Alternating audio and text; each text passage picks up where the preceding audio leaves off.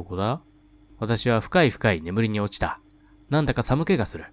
嫌な気分が強くなっている。それに、本当にすぐ耳元でその笑い声が聞こえているのだ。私は目を開けた。ぼんやりと目を開ける。あの嫌な笑い声は、どうもファックスの方から聞こえた気がするのだ。だが、私はうつろに考える。その方向に窓はないのだ。続き部屋はなく、同じ高さに建物もない。そしてここは、すべての出入り口と窓に鍵がかけられている完全密室なのだ。外から声が聞こえるはずはない。私はゆっくりと顔を上げた。笑い声は止んでいる。私はまだぼんやりとした頭で部屋の隅々まで見渡す。室内を包むしじまの中で、おかんは次第にそのリアリティを失っていく。疲れているだけだ。そうかもしれない。私は自分の左手が痺れて感覚がなくなっていることに気づいた。その上うつ伏せで寝ていたらしい。よくあることだ。それにしても、目覚めた左手はまるで他人の手のようだった。私は苦笑して、その手を机の上に投げ出した。だが、目の前にあるのは空っぽのシャツの袖だけだった。私は呆然とそれを見つめた。手首から先のない私の左腕。悪い冗談を見ているように、私はうつろに乾いた笑い声を立てた。すると、どっからかあざけりの笑いが響いた。さっきよりも近く、はっきりと。ん？私は凍りついた。これは夢だ、夢なんだ。しかし目を閉じることはできなかった。私の目は、目の前の奇妙な左腕を見つめたまま、大きく見開かれていた。声は大きくなり、小さくなる。そして、カサカサと這い回る音。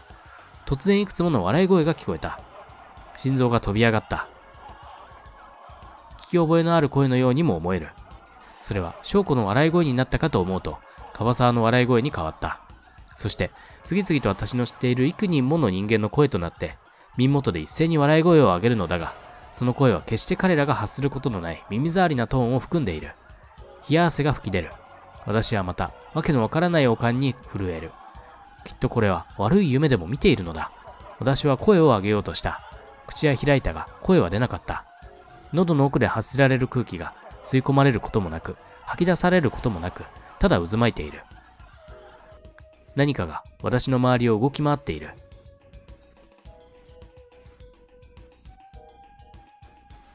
おお、実写だ。ああ、もう目がぐるぐるしちゃってる。小さなものだ。そして生き物だ。何かはわからないが、そいつは私をめぐるすべての人間の声を借りて、私を嘲笑っている。恐ろしいと思ったのは、その嘲笑ではなく、聞いているうちにそれを信じそうになっている自分自身だった。私はその妄想を必死で振り払う。笑い声は続いている。その笑い声は私の頭の中へ直接ドリルでねじ込むかのように響いては食い込む。響いては食い込む。響いては響いては響いては食い込んでくる。何かが触れた。途端、身の毛がよだつような嫌悪感が走る。まるで生き物の死骸。それも、ドロドロに腐って溶けた死骸に触れてしまったような。目を閉じたが、それはできない。顔を背けようとしたが、それも不可能だった。私は、ただ手首から先のない自分の腕を、なすすべもなく見つめ続けているしかない。ということこれも妄想なのかな袖の中を覗くと、私の手首の切断面があった。シンクの手首の切断面はサーモンピンクで、象の鼻先のようにピクピクと動いていた。そこにあるのはもはや血や肉ではなく、吸い込まれるようなブラックホールに似た漆黒だった。え？痛みはない。あれ？宇宙？感覚もない。あるのはわずかなうずき。両親のうずきだろうか。私は何かを思い出そうとしている。深い記憶のカナダの底に今、私に何か必要なものがある。遠く霞んだ記憶の底に何かが。ああ、あと少しで思い出せる。あともう少しで。しかしその先の闇は不意に途切れ、もう一つ真っ暗な闇に覆われ、さらにその先のさらなる闇に覆われて、その不定収素かなは未知の闇へと消える。不定収素、動悸、息切れ、めまい、吐き気、手足の痺れ、不眠など漠然とした体の不調、内臓やホルモンに問題があるなど、身体的な疾患の場合と、純粋に精神的なものから来ている場合がある。60年代末には流行語になった不定収素。へえ、知らないね。そして宇宙は手首と同じく私から失われていった。あ、ファー、ワープ。うわ、怖っ。急に何？急に怖いの出すの何なの？理由がわかんないね。夢は何度振りほどいても私に強くのしかかってくる。重く、暗く、そして冷たい。私はじっとりとナメクジのような冷や汗をかきながら目覚める。ナメクジ。ナメクジ科の軟体動物で湿ったところを好む。塩をかけると消えると言われているが、実は小さくなっているだけ。知らないうちに塩から抜け出し、また水分を吸収して元の体に戻る。そうなの？小さくなってるだけ？へえ、そうなの？知らないうちに塩から抜け出し、塩から抜け出し。また水分を吸収して、へえ、そうなんだね。死有同体でオスメスがない。不快感はその嫁の斬新にとどまっていた。それは不条理で、狡猾で、儚げだった。うなされた夢自体はもう忘れかけている。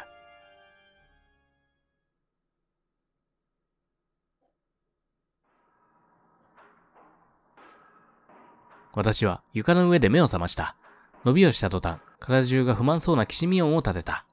ぼんやりと天井を見上げ、今度こそ夢ではないことを確認する。このところ貧血気味のせいか、立ち上がるとめまいがした。いつしか朝は終わりかけており、カーテンの隙間から差し込む光に音色が混じり始めている。私は外の空気を入れようと窓を開ける。待てよ、窓は。さっき開けたはずだ。カーテンを思い切り開けて、窓を全開にして、私はまだ眠りから覚めきらぬ街を見た。はずだ。私は頭を振って、冷静になろうと努めた。記憶には残らなかった悪夢が、今でも私の心に居座っている。正体不明の不安だけが、胸の内で黒い、これなんだ、影を落として、逆、逆まいている。敵側からののは始末が悪い。せめてその正体でも分かっていれば、対応のしようもあろうというものだが。振り返った時、それは嘘だと分かった。私には対応のしようなどなかったのだ。たとえその正体が分かろうが、その敵が何であろうが。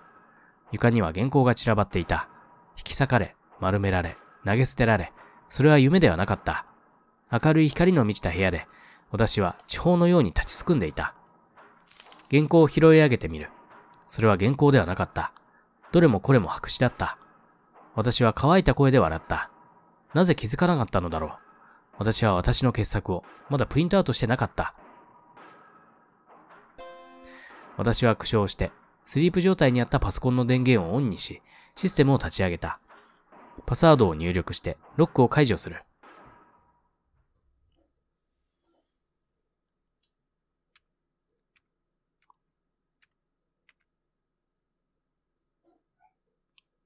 証拠。大好きじゃん。証拠。それが私のパスワードだった。悪い予感は的中した。私の原稿は失われていた。え？書き上げたばかりの原稿は消滅した。私は愕然と立ち尽くした。誰かが私の原稿を消した。だ結局それだよな。誰が？誰かが鍵のかかっているこの部屋へ忍び込み、私の仮眠中にロックされているハードディスクの中身を消した。一体誰が？誰だ？犯人は誰だ？私は目まぐるしく動いた。まずドアへ行き、施錠されていること、内鍵もしっかりとかけられていることを確認した。次に窓を確かめた。これはさっき私が開けてしまったが、もう一度閉じた状態を作り、外から開けられるか、忍び込むことが可能かを。愚かだった。私はこの窓を二度開けているのだ。夜明け前に一度、そして眠りから覚めて一度。明らかにこの窓を閉めた者がいるのだ。この私が眠っている間に、しかもその後で内側から、窓は確かにロックされているのだ。私は、私の夢のことを思い出した。私が机に突っ伏して眠っている間、私の周りで動き回っていた何か。あれがもし夢ではなかったとしたら。そして、私はやっと思い出した。私は私の傑作を途中までだがプリントアウトしていたのだ。傑作。あるレベルの作家なら、己の書いているまたは書き上げた作品がいいものかそうでないかは判断がつくものだ。優れた作家は自身の中に優れた読者を持っている。私は落ちている白紙に飛びついて調べ直したが、やはりそれは白紙だった。途中までのプリントまでが消えていた。私は部屋中をくまなく探した。クローゼット、バス、トイレ、冷蔵庫の中からベッドの下、テレビの後ろまで、ワンルームの室内にもう探すところはなかった。私はしばらく座り込んだ。窓を開けて風を入れた。そうすることに意味はなかったが、そうするより他に私にはすることがなかった。いきなりカラスが鳴いた。カラス。黒い鳥。強調として人々から意味嫌われることが多い。知能は高く、都心部での繁殖ぶりは凄まじく、ある意味都会の象徴である。まがまがしく、ずうずうしく、狡猾で、凶暴で、どこにでも現れる。本当でもそうだよな。目の前の窓枠に止まっていたのに気づかなかった。無性に腹が立った。私はテーブルの上にあったみかんを掴んで思い切り投げた。カラスは逃げた。みかんは外れて飛んでいった。当たりっこない。最初から生きているカラスなど私のコントロールで命中するわけもないのだ。なんだか象徴的な比喩を感じて気分が重くなってしまった。みかんなんかなぜ投げたのだろう。みかん。私は立然として顔を上げた。みかんなんかなぜあったのだ？いくら考えてもみかんの記憶はない。みかん。誰が私のテーブルの上に？いや、その前に。みかんは本当に実在したのか？私は確かに掴んで投げた。指先にその感触は残っている。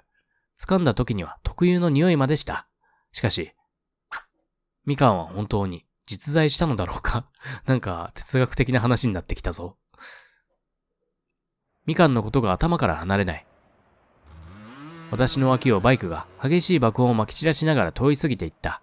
後ろのシートには顔に大きな傷跡のある男が乗っていた。お、まがまがしいその顔とバイクのひどい騒音は男が暴力の世界からやってきたことを示していたまがまがしい。災いをもたらしそうな、忌まわしいという意味。協調に対して市川は極度に敏感だ。それは彼の内面が不安と怯えでいっぱいになっているからだ。バイクがあっという間に通り過ぎても、やはりみかんのことは私の頭から離れない。みかん。そもそもみかんとは一体何なのだ？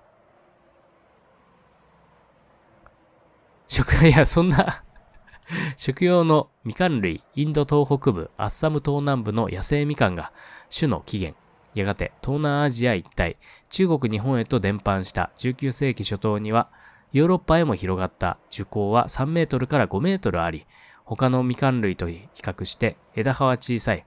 花は白色5月に咲き、実は小型で、旧型花皮は薄い。旧型、あ、玉型花皮は薄い。果肉は柔らかく、多重、苦味はない。まあ、それはそうなんでしょうがって感じですね。は、まだ続いてた。長寿を祝福する神聖な木であり、太陽や霊魂の象徴。双子葉植物の一群温帯から熱帯まで分布透明ななんたら線を持つ。花は良性、ヘンルーダ、サルカケ、ミカンゴ、周遊記、肌、山椒、インドシュス、ボク、月季、ツボロ、もういいや。アンコール。はい。チンチコール。みかん。みかんとは一体何なのだ？みかん。なぜ歩道にみかんが存在するのだ？これは現実のみかんなのか？黄色い物体。その鮮やかで毒々しい色彩は、私の意識の採用から人類共通の原初の恐怖を呼び起こす。毒々しい。色がどぎつく、毒を含んでいる、もしくは含んでいるような見かけのこと。女性に対してもよく使われる。そうなんだ。原初。物事の始まり。世界の最初。神が創造に着手した第一日目。なんか怖いな。果肉一つ食らうにも、生と死の深い峡谷を飛び越えねばならなかった。人がまだ裸の小猿でしかなかった頃、峡谷。深く切り立った谷のこと。はい。みかん。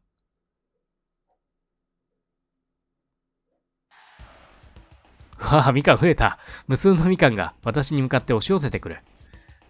もう完全に幻覚じゃんね。スノーたけびが聞こえる。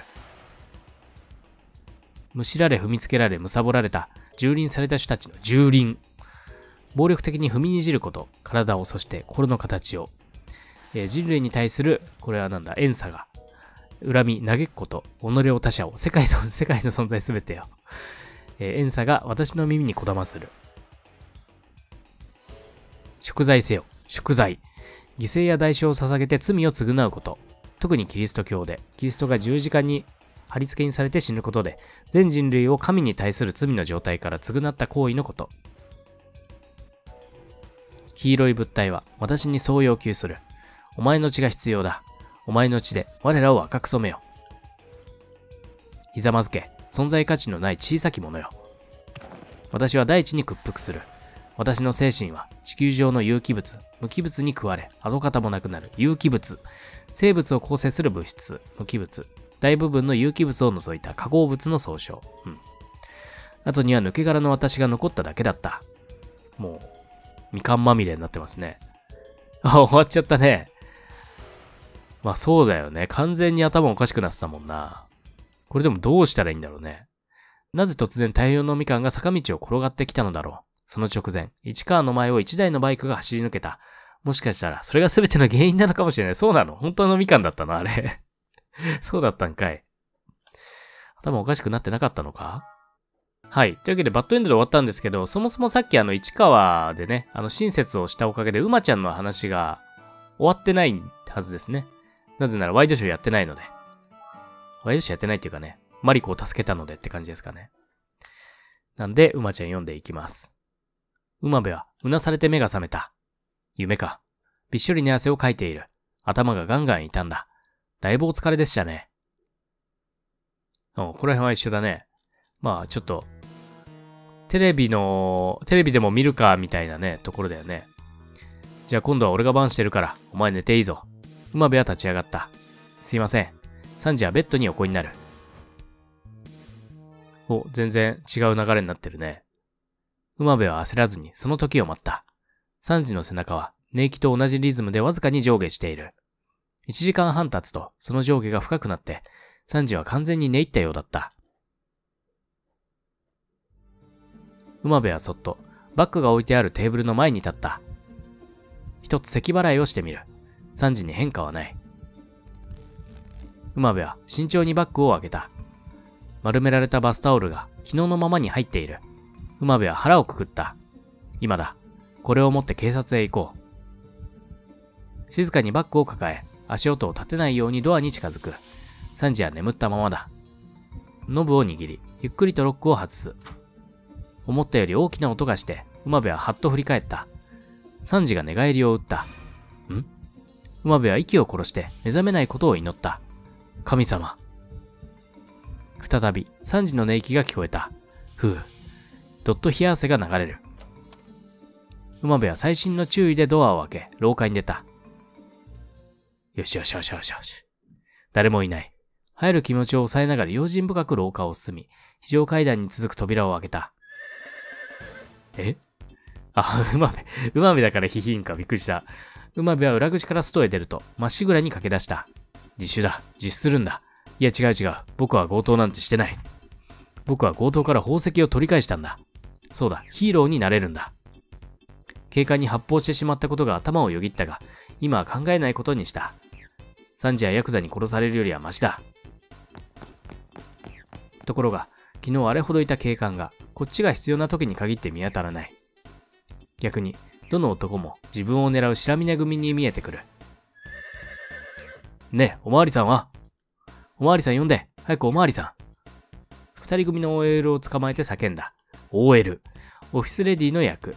しかしこれは和製語。正しくは、あ、フィメールオフィスワーカーというらしいが、長いなこれだと。そうだね。キャー、やだ変態。OL たちは逃げていってしまう。畜生、出てこいおまわり。馬部は泣き声になっている。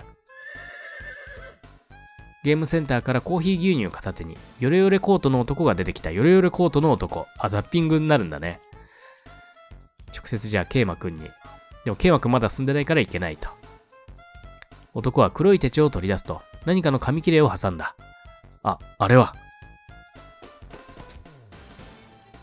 馬部は駆け寄るなり男の手帳をひったくった。な、なぬ？コートの男はすっとんきょうな声を上げた。コートの男。あ、これまたザッピングですね。それは、やはり警察手帳だった。な、何ですか？あなた。返してください。あ、あなたは刑事さん？何ですか？一体。警察呼びますよ。だから、本当に刑事さんなの？そりゃ刑事らしく見えないのは認めますけどね。初めて会った人がいきなりそれはないでしょう。人呼んで渋谷中央署の雨宮と言いますけど。ああ、よかった。馬部は抱えていたバッグを開ける。返します。これ返しますから、助けてください。は？もともと私が盗んだものじゃないんです。人違いで、勘違いされて持たされただけで、自分は全く無関係なんです。あ、関係ないんです。言いながら中の巻かれているバスタオルを広げていく。いや、返しますじゃない。私が命がけで奪い返してきたものです。だからお願いですから助け。バスタオルの中から出てきたのは宝石ではなくガラスの灰皿だった。え、あれで？うわはは、してやられたね。若い刑事は灰皿を手に取った。深セン耐震ホテル。あなた、これ持ってきちゃったんですか？馬部は間抜け面で固まっている。ダメですよ。いくら欲しくなったからってホテルのもの黙ってパクってきちゃ。でもまあ、僕もちょっと忙しいので、今回は歩道ということで、返す気があるなら自分で言って謝ってきてください。歩道を。悪い方に傾かないように指導すること。特に青少年の不良化を防ぎ、全導すること。老け顔の学生は見過ごされ、童顔の社会人は間違われてされるケースが多い。今日のところはそれでゲームオーバーにしません。変な言葉を使って若い刑事は灰皿を馬辺のバッグに戻した。い、いや、そうじゃなくて、こんなとこでいきなり灰皿渡されてもな。すいませんけど、先を急ぐんで。いえ、刑事さん、ち、違うんです。いいですか？返さないと窃盗罪ですよ。窃盗罪。他人の金銭品物を盗む罪。交通関係の業務上過失を除くと、全刑法犯の9割に上るメジャーな犯罪。嫌なメジャーだな。ちなみに、他人の恋人を盗むと犯罪にはならないが、殺される可能性はある。また、野球で次の類を盗むと逆に褒められる。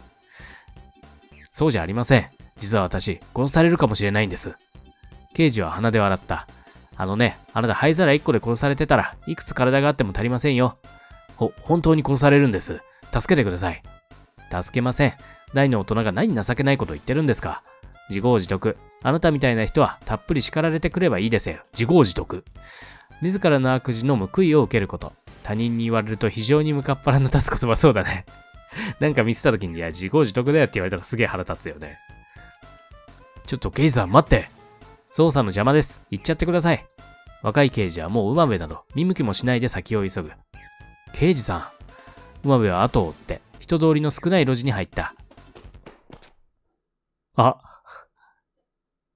突然、物陰からサンジが現れた。馬部は腰を抜かしそうになった。刑事はサンジに気づかぬまま行ってしまった。サンジは薄笑いを浮かべながら馬部の前に立った。会う。蒼白の馬部はその場から動けない。やっと手に入れた、やっと手に入れ、やっと手に入れたお宝札に渡して自分だけ助かろうって腹ですか。暴れ牛も地に落ちたもんだ。あわわわ。どうも兄貴の様子がおかしかったんでね、バッグの中身は入れ替えといたんすよ。うう。どこ行くのかと後つけてみりゃ案の定だ。まさか、牛尾正美ともあろう人が昔の仲間を裏切るとはね。牛尾正美。裏切りは死をもって償え。これは昔兄貴が言った言葉だ。サンジは懐から拳銃を出した。ひ。突然サイレンが聞こえた。巡回中のパトカーが馬部とサンジを発見。速度を上げてこちらに接近してくる。くそ、見つかった。サンジは忌々しげに馬部を見る。また逃げなきゃいけなくなっちゃうのかな。兄貴、このままじゃ済まさねえからな。サンジは去った。ああ。馬部も慌てて別の道を逃げる。パトカーから警官が飛び出す。止まれ、止まるんだ。違う、違うんだ。馬部はバッグ片手に泣きながら走った。わあ。通りに出たところで突然オートバイが飛び出し、馬部は足を取られて転倒した。誰だ？あ、これであれか、あの、バイクに乗った状態になってみかんの下りになるのか。な、なんだ？そのライダーはヘルメットからブーツまで全身黒で統一されていたヘルメット。フルフェイスのヘルメット。バイクに乗るときに被らなきゃいけないもの。中には、ゲーセンの体感レースゲームをするときに被っている猛者もいる。ただし、これをつけたまま銀行やコンビニに入っていくと、まず間違いなく誤解されるので注意しましょう。僕もあの、コンビニ働いてたことあったんですけど、あの、ヘルメット、フルフェイスのヘルメット被った人来たら、もうその場ですぐ、あの、必ず外してくださいって、あの、いうマニュアルになってましたね。早く、早く乗って。女の声だった。え？来るわ。早く乗ってください。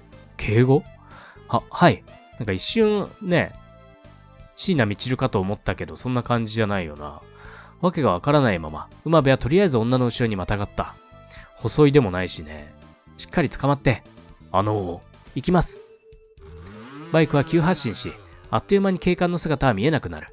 馬部はどうなっているのか見当もつかない。スピード上げます。もっとしっかり捕まって。A、うわ、馬部は当てて女の腰に手を回した。B、うわ、馬部は思わず女の胸を掴んだ。普通に A にしようか。うわ、馬部は当てて女の腰に手を回した。細く折れそうな腰で女がバランスを崩して倒れないかと心配になった。